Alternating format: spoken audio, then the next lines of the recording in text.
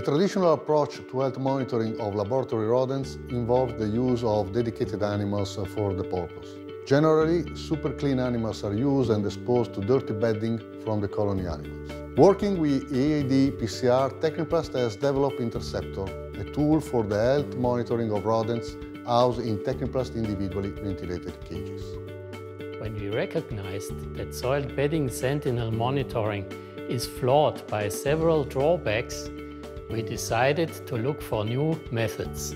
The new technology called exhaust air particle PCR turned out to be more reliable than soiled bedding sentinels, the technology used so far.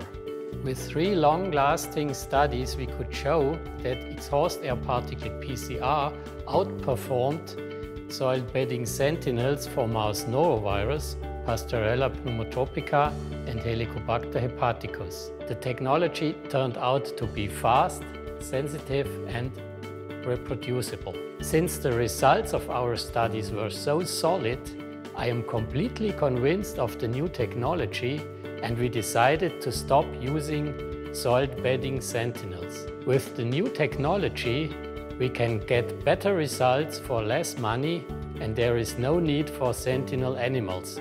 And that is a great contribution to the three R's. Interceptor is made of two components, a stainless steel frame designed to allocate up to two irradiated cardboard folders, each containing a sliding filter. The stainless steel frame is washable and of course autoclavable, whereas the single-use filters are irradiated. I'm Dr. Stephanie Durand and I'm a scientist for the Charles River 360 Diagnostic Services.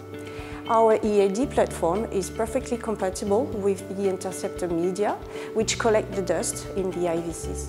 Once we receive the sample, we will use our unique PCR method to effectively and quickly determine your results. Within three to five days, you will receive the result by mail. To test this new system, four independent research groups performed a study. They compare in one hand the environmental uh, health monitoring with the interceptor combined with uh, the EAD testing from Charles River and on the other hand the traditional health monitoring with Sentinels. The data show a significant increase of detection rates with the interceptor. And actually, the percentage of detected agent was seven times higher with the interceptor as compared to the Sentinel. The use of interceptor was demonstrated to reduce workload, the cost for the purchase or production and maintenance of dedicated bedding sentinels and their shipment to the diagnostic laboratories.